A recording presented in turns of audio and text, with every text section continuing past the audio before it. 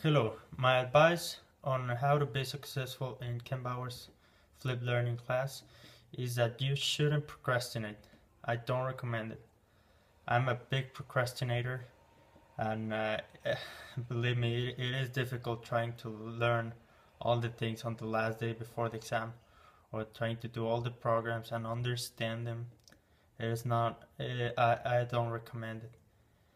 I would say that it is important to to have a schedule on how you are going to do each each thing. You should have your schedule uh, in order to be learning constantly, and so that you you can have time to ask Ken any any doubts. That's the the nice thing about uh, flip learning that that he is always available in order to help you with any doubts that you have. Thanks.